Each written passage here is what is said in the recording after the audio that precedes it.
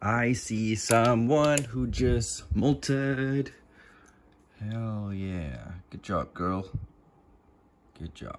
So that's my uh, Acanthoscurria geniculata. Right side up. Surprisingly, she's standing. Like usually after they molt, they don't stand. You can see her molt at the back there. Don't want to disturb her too much. Well, I am kind of disturbing her, but it's for the good, okay? I'm going to change her water to something clean. Remember in the watering video, I did not change my geniculata's water. Well, one, mainly, she was about to molt.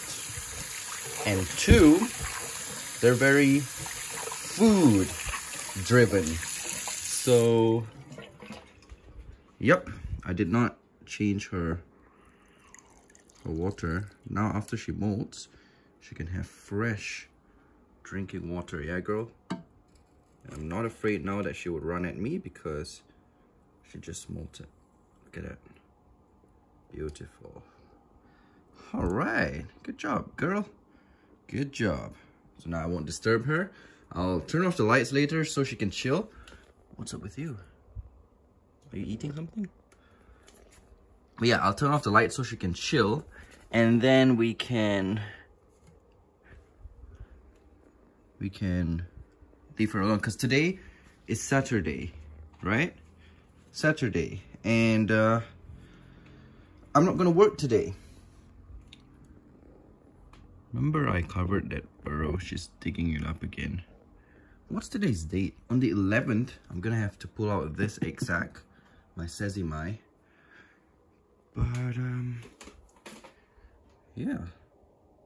Where's this girl? Haven't got a single clue. okay, so that's basically it. Everyone's water dish are still clean. Oh yeah, by the way, when after after I cleaned out their water I gave them all one Turk. So so yeah, they've been fed. They have wow, I've not seen you in ages, girl. yeah, they've they've been fed. They've been watered. So I'm pretty much done with the tarantulas for a week. I've actually fed all of the slings as well. So not really happy about that. I got stuff done this week. And yeah, stay tuned for the next video.